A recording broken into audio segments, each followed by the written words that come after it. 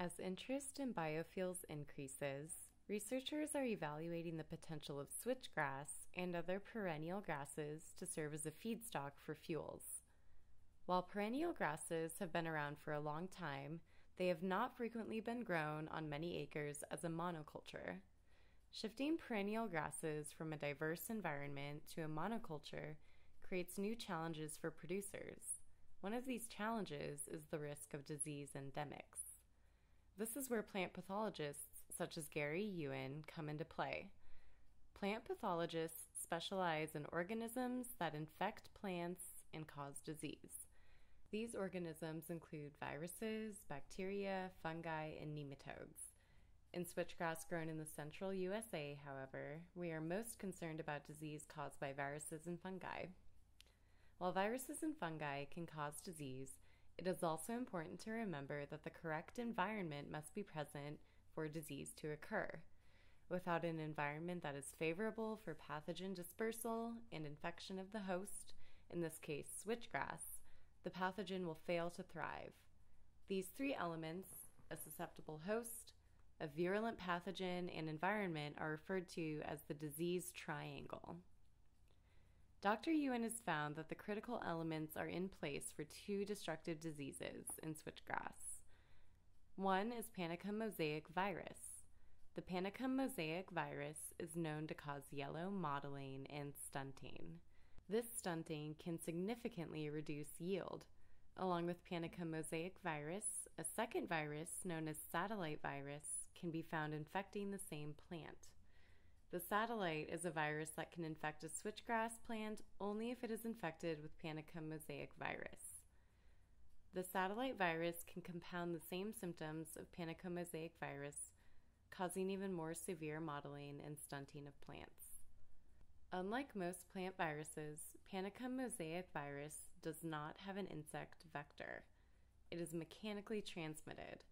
That is one reason why the disease could potentially be destructive on switchgrass for biofuels. Each time the crop is harvested, there is potential for the virus to be spread and introduced into healthy plants. The best management practices to prevent the spread of the virus include cleaning the harvest equipment between fields and harvesting after a killing frost. Aside from Panicum mosaic virus, plant pathologists have also found rust a fungal disease, in switchgrass research plots. There are two species of fungi that can cause rust in switchgrass Puccinia immaculata and Uromyces graminicola. One species or the other, or both, might be causing the disease in any particular location. Symptoms caused by the two species are identical. They can be distinguished only by microscopic examination of their spores.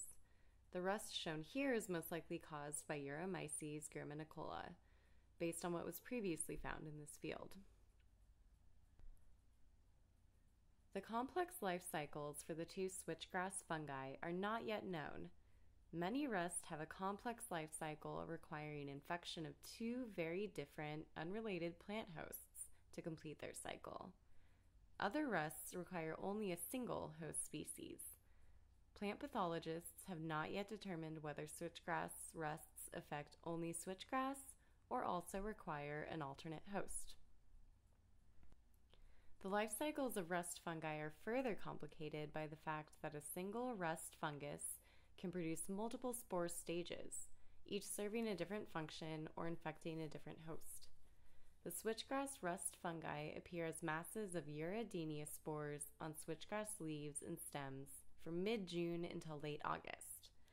The rust red color of the spore masses, or pustules, gives the disease its name. Urediospores are then released into the air to infect healthy switchgrass.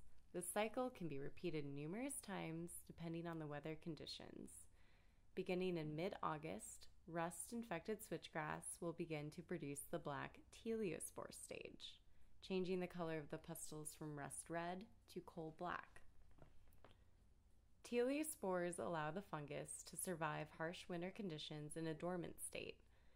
It is not yet known exactly how the switchgrass rust fungi transition from the teliospore stage to urediospores in the following spring.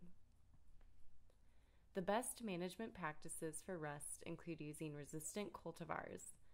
Based on research conducted in the past and recent observations made on new switchgrass cultivars and breeding lines, there is considerable difference in resistance to rust. Fortunately, it appears that some new lines, including the newly released Liberty, show considerable resistance to rust. While distinctive symptoms have been reported for Panicum mosaic virus and switchgrass rust, symptoms might vary depending on the environmental conditions and the host variety. It is often hard to predict what the symptoms of these diseases will look like on new switchgrass varieties, since not much research has been done with these diseases on new varieties. Given that, plant pathologists rely on new molecular diagnostic tools. One method is called ELISA and is commonly used to accurately identify what virus is causing disease. ELISA is a test that uses antibodies to detect certain proteins specific to the kind of pathogen present. Using ELISA, researchers at the University of Nebraska recently detected Panicum mosaic virus in some switchgrass breeding nurseries at frequencies exceeding 50%. The frequencies of plants exhibiting virus symptoms, however, were lower, and this suggests some plants can be symptom free carriers of Panicum mosaic virus. Currently, researchers in the CenUSA project are working to learn more about these pathogens and how they affect switchgrass.